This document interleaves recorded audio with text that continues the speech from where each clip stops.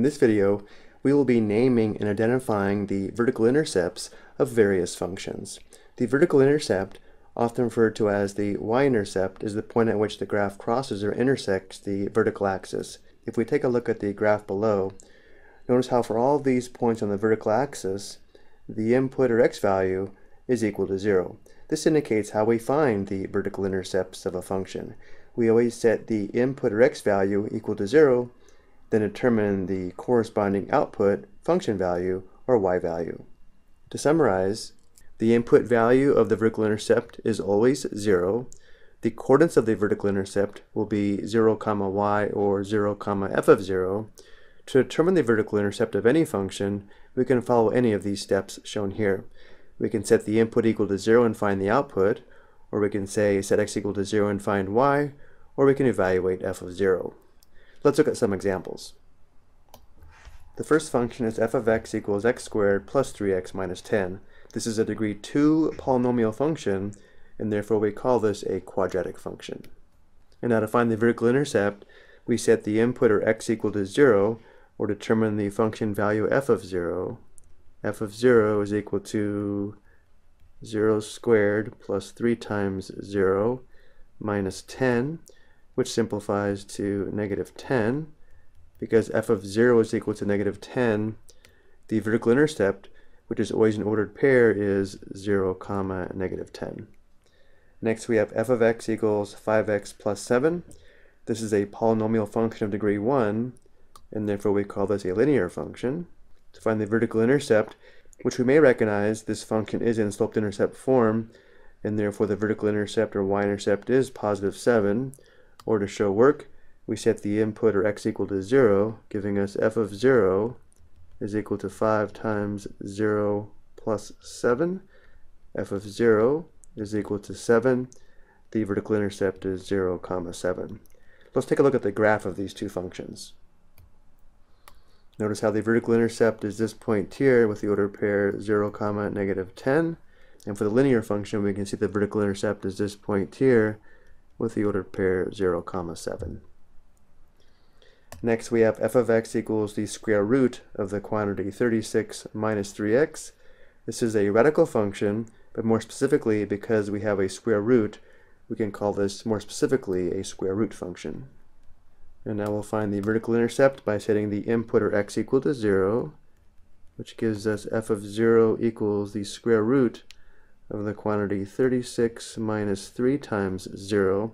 Well, 3 times 0 is 0, and therefore this simplifies to the square root of 36, which is equal to 6, because 6 squared is equal to 36. The vertical intercept is the ordered pair 0, comma 6. Next, we have another square root function. So to find the vertical intercept, we set the input or x equal to 0, f of 0 is equal to the square root of the quantity 2 times 0 minus 8. Notice how here the radicand simplifies to negative 8, giving us f of 0 is equal to the square root of negative 8. Remember, for the result to be real, the radicand must be non-negative. The square root of negative 8 is not real, and because the result is not real, this function has no vertical intercept.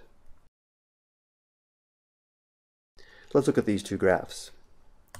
For the first square root function, we can see the vertical intercept is this point here with the ordered pair 0, comma 6. And for the second square root function, notice how the graph does verify this function does not intersect or cross the vertical axis, and therefore there is no vertical intercept. Next we have f of x equals the cube root of the quantity 4x minus 6. This is a radical function, but because we have a cube root, more specifically this is a cube root function. And to find the vertical intercept, we set x or the input equal to 0, which gives us f of 0 equals the cube root of the quantity 4 times 0 minus 6. Simplifying, we have f of 0 equals the cube root of negative 6. Now remember, for a cube root, the radicand can be negative. This result is real, and therefore the exact ordered pair for the vertical intercept is 0, comma the cube root of negative 6. But let's also get a decimal approximation for the cube root of negative 6, which will also verify this is real. Going to the calculator, to access the cube root, we press Math and then option 4, and then we enter negative 6 and enter. Run into one decimal place, the cube root of negative 6 is approximately negative 1.8. So again, the calculator did verify the result of the cube root of negative 6 is real. Next we have f of x equals 19. Notice how for this function the output is always 19. This is called a constant function. So whatever the input is, the output is always 19. And therefore, if we set the input or x equal to 0, f of 0 is still equal to 19. And therefore, the vertical intercept is the ordered pair 0, comma 19. Looking at the graphs of these two functions, the vertical intercept of the cube root function is this point here, where the ordered pair is 0, comma approximately negative 1.8.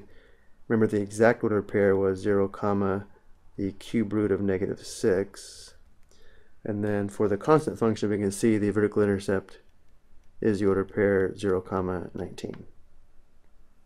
The next function is f of x equals x cubed minus 4x. This is a polynomial function of degree 3, which we call a cubic function. Find the vertical intercept, we need to evaluate f of 0, which is the cube of 0 minus 4 times 0, which is equal to 0. Because f of 0 equals 0, the vertical intercept is the ordered pair 0, comma 0, which we should recognize as the origin. Next we have f of x equals the quantity x plus 1 divided by the quantity x minus 6. This is a rational function because we have a ratio or a quotient of two polynomials, or more specifically, the quotient or ratio of two linear functions. So this is a rational function. And now we'll find f of 0 to determine the vertical intercept, which gives us the quantity 0 plus 1 divided by the quantity 0 minus 6, which gives us, what, negative 1 sixth and therefore the vertical intercept is order pair 0 comma negative 1 sixth. Let's look at these two graphs.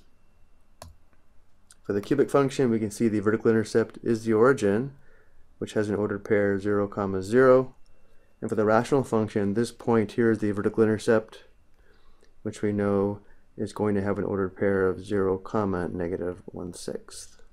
Let's look at two more functions. The next function is f of x equals x which is a polynomial function of degree 1 or a linear function, but in this case because the input and the output are the same, more specifically this is called the identity function. To find the vertical intercept we need to evaluate f of 0. If we substitute 0 for x then the output is also 0 and therefore the vertical intercept is the ordered pair 0 comma 0, once again the origin. And then finally we have f of x equals the absolute value of x minus 3 because of the absolute value. This is an absolute value function. Now to find the vertical intercept, we evaluate f of 0. f of 0 is equal to the absolute value of 0 minus 3, and therefore f of 0 is equal to negative 3. The vertical intercept is the ordered pair 0, comma, negative 3. Let's look at these two graphs. Notice how the identity function does have a vertical intercept at the origin with the ordered pair 0, comma 0, and the absolute value function does intersect across the vertical axis at this point, which has an ordered pair 0, comma, negative 3. I hope you found this helpful.